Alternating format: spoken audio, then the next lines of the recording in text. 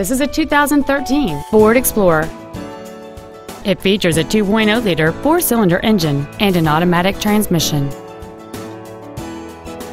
Its top features include a navigation system, a rear-view camera, a low-tire pressure indicator, 12 strategically positioned speakers, commercial-free satellite radio, and traction control and stability control systems.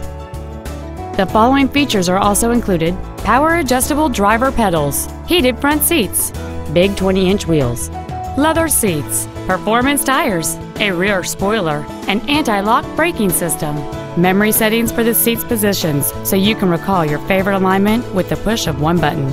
And this vehicle has fewer than 5,000 miles on the odometer.